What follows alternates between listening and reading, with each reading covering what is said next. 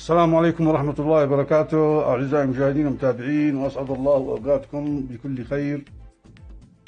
أول تعليق لصنعاء على المناورات الروسية المشتركة بالبحر الأحمر.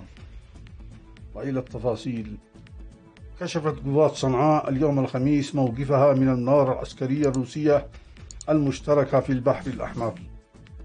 واعتبر العميد عبد الله عامر نائب مدير دائرة التوجيه المعنوي المناورات بمثابة إشارة بأن موسكو باتت أكثر إرادة على أن يكون لها حضور في المنطقة بموازاة الوجود العربي الغربي والأمريكي مشيرا إلى أن روسيا قد تجد مرادها في أسمرة.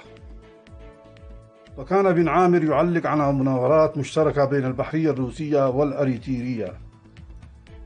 والمناورات الروسية في البحر الأحمر تعد الأولى في تاريخها منذ انهيار الاتحاد السوفيتي وكانت وزارة الدفاع الروسية أعلنت في وقت سابق تحريك عددا من القطع الحربية البحرية إلى البحر الأحمر بعد أسابيع قليلة على نشر أسطول غربي ليضاف إلى البوارج الأمريكية والصينية هناك.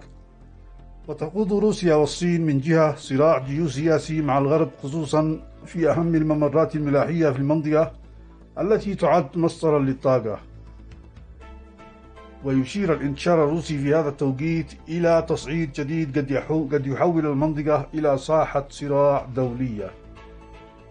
أشكركم على حسن المتابعة والإصغاء ولا تنسوا الإعجاب والتعليق على الفيديو والاشتراك في قناة وتفعيل جرس التنبيهات والسلام عليكم ورحمة الله وبركاته